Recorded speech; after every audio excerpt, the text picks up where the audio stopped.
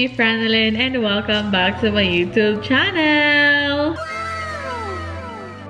So for today's vlog, I will be giving you things you need to know before you're starting your YouTube channel. So, the first thing is having video ideas ready or having videos ready. Um, but first, let us talk about having video ideas ready. As you probably already know by now, it is very important from with YouTube that you stay consistent. Consistency on YouTube is everything. So, and it just makes your life so much easier.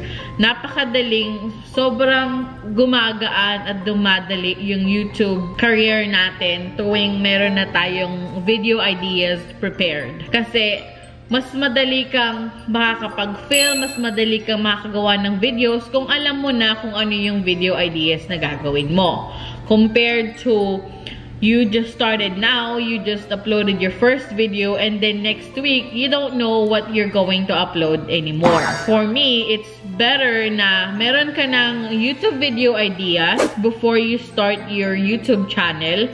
That way, you will make your uploading, weekly uploading, so much easier and so much faster. And it, it will make you stay organized and ahead para smooth yung inyong YouTube start. Um, para naman dun sa part na having, having videos ready. Kasi um, if you started your YouTube channel, it will feel super overwhelming kapag iniisip mo every day ka na lang mag-iisip na, oh my God, I need to film, I need to edit, I need to do this, I need to do that. So, you need to get ahead. Other YouTubers actually film four videos for the whole month. They would already start filming for an entire month before the next month would start. Before October comes, I would already have videos uh, ready for the entire October so that when October comes, I won't have to, to scramble trying to film, trying to think what kind of video ideas I need to upload during that month. So that way, on the month of October, ang i-film ko na lang is my videos for November. And that way, it will make my life so much easier especially for someone, for those of you who have regular jobs or who have uh, for those of you who are like me, who have a newborn kid with me at home, it would be so much faster and so much easier kung meron na tayong video ready idea. Kung meron na tayong mga pre-filmed videos na ang gagawin na lang natin is i-upload na lang natin sa YouTube channel natin. So, mas mapapadali yung proseso natin pagka meron na tayong ganun. So, for those of you who are just starting right now, I suggest that you should do this. Magkaroon na kayo ng at least or at least 10 video ready para naman mas madali, mas smoother, mas I, I, I'm telling you. Kasi dyan ako nag-fail. Nung nag-start ako mag-YouTube, nung nag-start ako, see, I'm already uh, on YouTube for one year na. One year na ako ngayon sa YouTube. Um, I was very consistent. I was like uploading every every week. And then, I got burnt out. You know, uh, napagod na ako mag-edit kasi parang everyday na lang lagi ako nag-iisip na ano na kayang i-upload ko, ano nang gagawin ko, ano nang gagawin ko, ganyan. So, napagod ako at hindi ako nag-upload for at least hindi ako nakapag-upload for good 6 months. So, it took me a while para makapag-upload ulit. Kasi nakakapagod talaga. So, for those of you who are starting, if you can, please have at least videos, ideas for you to make your life easier. Or, better yet, mag-film na kayo, mag-edit na kayo, i-ready nyo na para upload, upload, upload na lang ang gagawin nyo when the time comes. So, the second one is prepare your equipment. But, I'm telling you right now, you don't need the fanciest equipment in the world. Okay? Hindi mo na kailangan gumastos, hindi mo na kailangan kung ano-ano pang kung ano-ano pang bibilhin, okay? Please don't think na kailangan mong bumili, na kailangan mong ganito, kailangan mo na ganyan. No, no, no, no, no, no. I'm telling you right now, you don't need a lot of equipment. But, of course, cannot record a video without a camera. Phone camera is good enough. Phone lang ang gamit ko kadalasan. Right now, I'm not using my phone, obviously, because I have my phone right here with me. So, if you have a good quality camera on your phone, phone, please use that. Don't think na kailangan mong bumili, okay? Use what you have. But please make sure that you have a good quality camera on your phone. If your front face camera is not good enough. Sure na ang gagamitin mo is yung back face, yung back camera mo, yung, yung, yung camera mo dito sa likod instead of the ones facing in front. Kasi um, that will make the camera, the quality of your videos better. Um, for the lighting, um, right now I am on, honestly using uh, this very cheap um, lamp. Uh, it's just a desk lamp that I bought at Walmart last time. But it's just very cheap. And you don't necessarily need to buy lighting. You could always use the natural lighting from the sun in the morning. You know, if you film ka na lang ng umaga, And, make sure na hindi ka masyadong maliwanag, hindi rin masyadong madilim. As long as you have good enough lighting, okay na yon. So, for the mic, microphone naman, um, right now I'm just using the microphone na available sa, sa camera ko. Or if I'm using my phone, I only just use whatever um, the phone microphone. Yun lang gamit ko. Wala na ko ibang ginagamit. I think it's good enough for me. It's good enough for you guys to hear me. So, I don't spend any money on camera, uh, on for the microphone. The tripod. You don't necessarily need tripod because marami namang paraan para mai-set up natin yung cellphone natin. Others, other YouTubers, I've seen that they only use like book pinagpatong-patong lang nila yung book and then sinet up lang nila yung phone nila na kaganyan. Pwede na. Pwede na yung ganon. Pero kung talagang gusto nyong bumili, maraming murang uh, maraming murang options. Pwede yung yung monopod dyan sa uh, selfie sticks. Pwede din yon as a tripod. Marami ring mumurahing um, tripod available anyway. Pero like I said, you don't necessarily need to buy a tripod. There's always an option. Kung gugustuhin, maraming paraan. I think that's it for the basic e equipments for filming anyway. So, don't feel the need to spend so much money for your equipment. So, the next one is learn basic editing and filming. So, the competition on YouTube now is so big. Serious. Masyado na tayong maraming YouTubers. Ang dami na nating YouTubers ngayon sa YouTube. Mga Filipinos, mga um, sa, buong mundo, napakarami na nating YouTubers ngayon. Kailangan natin makipagsabayan. Pero that doesn't mean na kailangan mo yung pinaka mamahaling editing software. No, you don't need that.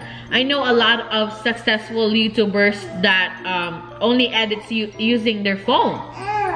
You just have to have a presentable video so that um, you will catch the attention of your viewer. For editing, um, simple lang naman yan. Maraming, maraming YouTube tutorials on YouTube on how to edit your videos. Uh, the, the most basic lang ang kailangan mo to start your channel at least. You can always improve, okay? You can always improve and learn more. But the next one is know your music, guys. Uh, there's nothing worse than getting the uh, email from YouTube that your video got copyrighted. As you all know by now, you just you cannot just use any music you want on YouTube. Kasi may copyright na siya. Hindi na tayo pwedeng gumamit lang ng kahit anong music na gugustuhin natin. Uh, we have to be careful one tip for you guys is what I do is um, I like edit a very short or like a fake video. I won't put it on on public. Ipa-private ko lang siya tapos i-upload ko doon kung ano yung music na gagamitin ko to make sure na walang magaging copyright. Try nyo lang, mag-wait lang kayo ng mga few minutes. Try nyo ko, uh, um, kasi within a few minutes, nag, usually, nagre-respond na sila kung may copyright ba yung music na ginagamit niyo. So, the next tip for you guys is join other small YouTuber community. It's very important for you guys to join other YouTubers for me because you could learn from other YouTubers as well. From them, there's a lot to learn about YouTube. Very beneficial na mag-join ka ng ibang community. So the next one is let your friends and family know that you are starting your YouTube channel. Why? Because they could also be your um, your first supporters, your first viewers. So that would also count for your YouTube channel. Because you could also get their opinion. You could easily ask them like, does my video looks okay? Does do I sound okay? Do I look okay? And it, it's it's views that would count for your channel as well. So you know you should let your friends and family know. Uh, the next one is watching YouTube tutorials. It is very important for you to watch YouTube tutorials just like this. Kasi very helpful yon para malaman mo kung ano dapat mong gawin, kung ano hindi mo dapat gawin, kung paano sila gawin. So, you know, it's very, very helpful na manood ng YouTube tutorials. I cannot tell you how many YouTube tutorials I watched before starting my YouTube channel from editing to doing this to doing that. To simply uploading um, my YouTube videos on my YouTube channel I had I tried my best to search for the best YouTube tutorials for that. It makes navigating YouTube so much easier for me when I watch YouTube tutorials because you know you find different ways to, on how to do things. Um, the next one is having business email okay having business email ready separate from your everyday email. Kasi marami ng masyadong, first of all, mara, masyadong maraming spam emails na dumadating na sa ating mga email ads right now. So, to make it easier for you to find business offers, sponsorships, and brand deals like that, you should have a separate YouTube email account so that it's easier for you to see whenever you get emails from businesses that will want to collab with you, to sponsor your videos, you know. I think it's very beneficial. So the next one is have confidence. You know, I am a very, very shy person. And I know you can tell that by the way I talk. But try to be confident in front of the camera. If you are not used to talking in front of the camera i know it's it's awkward. I really feel awkward even right now that i'm alone. I mean i'm not alone technically alone because i'm with my baby. But i feel very awkward talking in front of the camera. For me what i do is i sit in front of my mirror and that's where i try to talk. That's where i that, that's where i practice talking. I sit in front of the mirror with my camera or sometimes without. I just i just talk a top. So the next one is be the best. Because like I said, napakarami na nating YouTubers ngayon. So, be yourself is always the um, advice na most YouTuber give you. But for me, I think being yourself is not enough now. So, for me, be the best version of yourself. Just be the best version of yourself and your success will come. Okay, guys? So, that is it for today, you guys. I hope you enjoyed this video and I hope this helped.